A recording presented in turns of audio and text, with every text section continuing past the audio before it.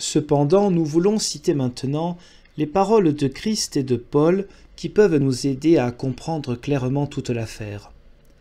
Matthieu 26, versets 26 à 28 déclare Quand il mangeait le soir, Jésus a rompu le pain qu'il avait pris en main et pour lequel il a dit merci, l'a donné aux disciples et dit Prenez, mangez, ceci est mon corps. Et lorsqu'il eut pris la coupe et dit merci, il la leur a donné en disant Buvez-en tous, car ceci est mon sang, le sang du Nouveau Testament, qui sera versé pour la multitude, pour le pardon du péché. Ces paroles sont claires et connues de tout le monde. Mais on n'y voit pas qu'on puisse en tirer qu'il est enjoint d'offrir en sacrifice son corps et sang. Il dit certes, Ceci est mon sang, le sang du Nouveau Testament qui sera versé pour la multitude, pour le pardon des péchés.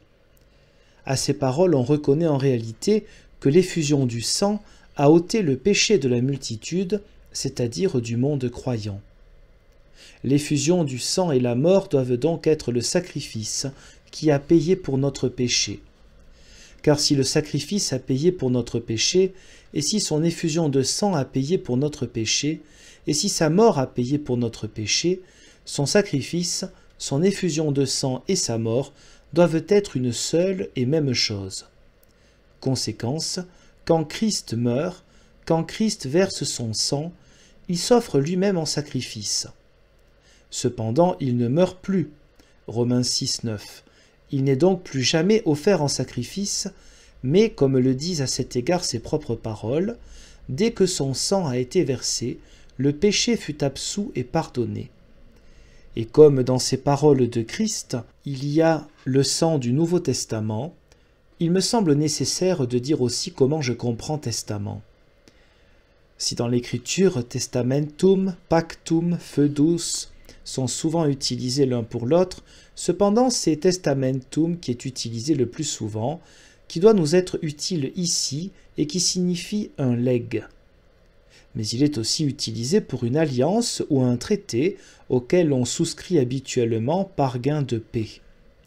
Ainsi dit-on l'Ancien ou le Nouveau Testament, c'est-à-dire l'alliance, traité ou pacte que Dieu a conclu avec les anciens pères ou avec le monde entier par Christ. Mais chaque fois que dans l'Ancien Testament un traité est conclu entre Dieu et les amis de Dieu, la coutume était que cette alliance soit confirmée par du sang et un sacrifice. Lis ce qui concerne Noé, Abraham, tu le verras. Encore plus nettement en Exode 24, versets 3 à 8, après que Moïse eut lu les commandements de Dieu aux enfants d'Israël, et qu'ils se soient soumis aux commandements de Dieu. Il a ordonné de tuer douze veaux pour les douze tribus et de les offrir à Dieu puis de prendre le sang des veaux et d'en asperger le livre de la loi. Référence Hébreu 9, verset 20. Et tout le peuple en disant Ceci est le sang de l'alliance que Dieu a conclu avec vous, en vertu de tous ses dires et commandements, etc. Nous entendons là combien les paroles de Moïse, par lesquelles il a conclu le testament, sont semblables aux paroles de Christ à propos de son sang, si bien que chacun peut en fait remarquer que ce que fit Moïse a été un présage de ce que Christ a fait. Car après que Dieu eut scellé avec les enfants d'Israël et leurs descendants une alliance et un pacte, c'est-à-dire un testament, s'y ajoutait aussi, comme annoncé précédemment, la mort et l'effusion de sang, toutefois seulement d'animaux privés de raison. Mais lorsque Christ a fait avec les hommes son testament, c'est-à-dire son alliance et son acte qui doit durer pour l'éternité, il n'a pas offert à la mort des animaux, mais lui-même. Il ne nous a pas aspergé de sang animal, mais de son propre sang, dont, comme signe d'un testament éternel, car ce sang a coulé de celui qui est le Dieu éternel, il n'a aspergé ni le linteau ni notre peau pour les enduire de sang, mais pour le boire il a ainsi purifié intérieurement nos âmes. Quand donc un testament est fait, il n'est accompli que si meurt celui qui l'a conclu. Hébreux 9, 16 à 17. Christ nous a donc aussi donné par grâce le pacte selon lequel nous devenons par lui enfants et héritiers de Dieu, puisqu'il est mort et a garanti son pacte avec nous en nous donnant sa propre chair pour nourriture et son propre sang pour boisson de l'âme, afin que notre espérance ait là un gage et un signe certain que, même si nous mourons, nous recevrons l'héritage dont il nous a fait les héritiers. Et c'est pourquoi Luc n'appelle pas le sang de Christ sang du testament, mais le testament même. Il le fait en ces termes. Ce breuvage, je germanise ainsi le mot grec poterion, est le Nouveau Testament ou alliance en mon sang qui est versé pour vous. Luc 22, 20. Par ces mots, nous apprenons que le Nouveau Testament est confirmé par le sang de Christ, que ce sang est même le Nouveau Testament, donc que nous devenons tous bienheureux par le sang versé.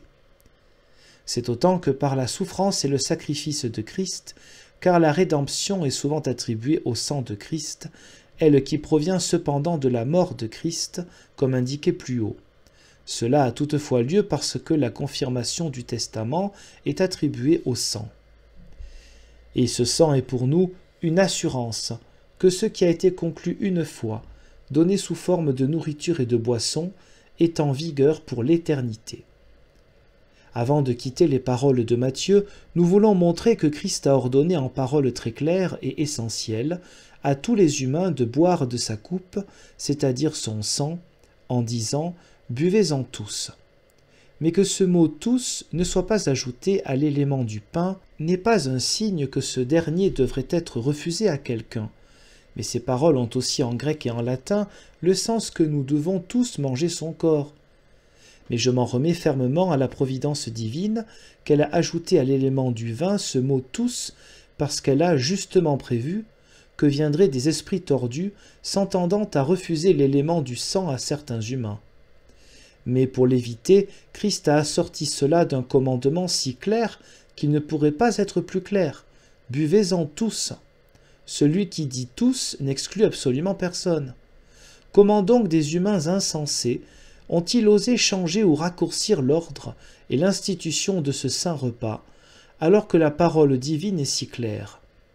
Et notamment là où les deux éléments sont en usage, même si ce ne fut pas le cas ailleurs, du moins en pays allemand, et même publiquement dans des régions helvètes où ils sont donnés aux femmes et aux hommes, aux enfants et aux vieillards, je fonde cela sur une information sûre. Lorsque j'étais curé auprès des respectables messieurs du pays de Glaris, j'ai trouvé à Molis un cérémonial, c'est-à-dire un livre qu'on utilise pour le baptême, la mort et la bénédiction. Bien que vieux, il était pourtant complet et intact au vu de l'écriture. Il s'y trouvait une rubrique en latin sur ce qui doit être fait dès que l'enfant a été baptisé. En l'occurrence, après cela, on doit donner à l'enfant le sacrement de l'Eucharistie, de même aussi la coupe du sang. Je ne veux pas ici avoir fait l'éloge du fait qu'on a donné le sacrement aux enfants, mais attester par ces paroles que dans nos régions on a distribué le repas céleste avec les deux éléments. Les témoins en ont été les vénérables lettrés, le sieur Adam, jadis curé de Molis, maître Gregorius Bunzli, curé de Wesen, et le sieur Johann Warschon, curé à Kerenzen. Cette année-ci, le savant magister Valentin Tschudi, mon successeur, curé de Glaris, et magister Johannes Herr sont venus vers moi et m'ont indiqué qu'ils ont trouvé un cérémonial semblable dans leurs églises. Ils sont si semblables à celui de Molis qu'ils supposent que l'un a été copié sur l'autre, dans lequel l'opinion indiquée est également attestée. Mais je n'ai pas pu déterminer combien de temps cet usage s'est perpétré dans le pays de Glaris. Toutefois, on le pratiquait sans doute à Molis il y a moins de deux cents ans. Car j'y ai trouvé d'anciens documents ecclésiaux au sujet de la séparation de cette paroisse d'avec celle de Glaris. Ils sont vieux de deux cents ans. Au sujet de cette séparation, chacun doit savoir qu'il n'y avait pas de cérémonial dans l'église de Molis, car on n'y dispensait pas de sacrement. Mais il faut tenir compte du fait qu'un cérémonial a été copié sur celui de Glaris et a été utilisé dans la nouvelle paroisse. Si j'indique cela aussi amplement et en citant des témoins qui tous sont encore en vie et sont mes chers frères en Christ, c'est pour qu'on sache que ce n'est pas une hérésie de prendre Christ, la nourriture de l'âme, sous les deux éléments, mais que c'est plus convenable, plus correct et plus conforme à l'institution de Christ que si nous ne la consommons qu'en un seul élément.